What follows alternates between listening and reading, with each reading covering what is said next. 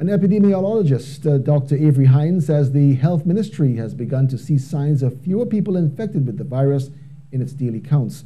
He says although Trinidad and Tobago is in its accelerating phase of the virus, the numbers are starting to look more favorable.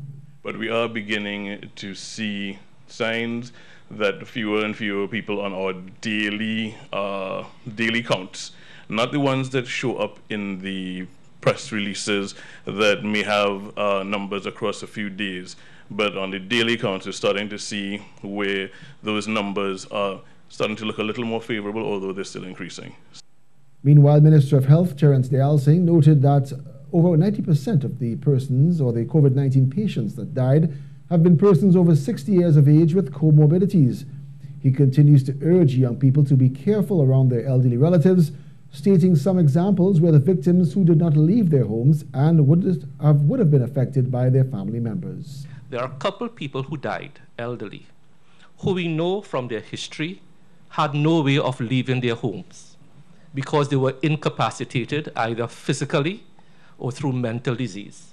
They never left their home for the past two years, but the virus went home and met them. Minister Deyalsingh notes that deaths recorded in Trinidad and Tobago are still below the international standard, and while he says that is nothing to celebrate, it shows that this country needs to return from community to cluster spread.